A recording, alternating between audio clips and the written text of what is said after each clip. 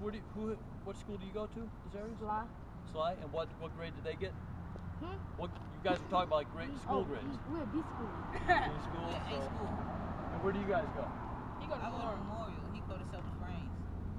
And they're bo- is Sulphur Springs We're in school? school. You're C school? No, I don't. Who? Oh. Well, guys, Yeah, elementary. hey guys, let's go through this. Yeah, middle. No, I got upgraded. Guys, let's go through this real quick, okay? The faster we get through this, the faster you're on the court. You know But I want you guys. I want you guys to learn this stuff seriously. Okay? So, this is our life lessons. Questionnaire number four. What is discipline?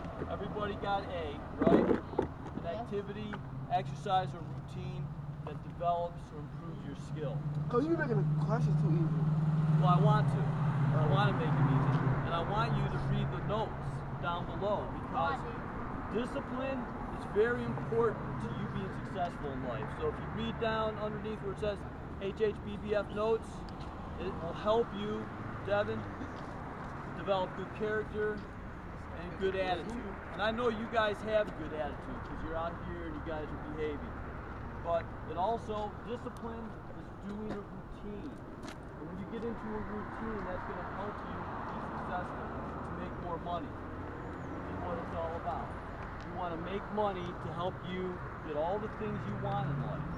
But you got to start with the basic needs food, shelter, education, healthcare, and you got to think about retirement down the road.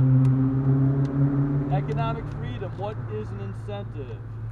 Dre, what was an incentive? And what is that? That's right.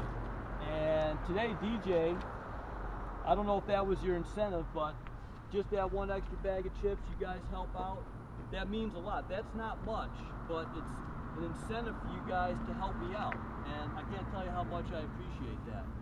Because having that incentive is important. So give yourself incentives. You know, if I do something, I'm going to reward myself.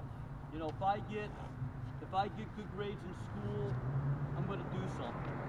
And if you get good grade, anybody here that gets all A's in school, come show me your report card and we'll do something for you, okay? All right? Because I want that to use that as an incentive for you guys to study harder in school.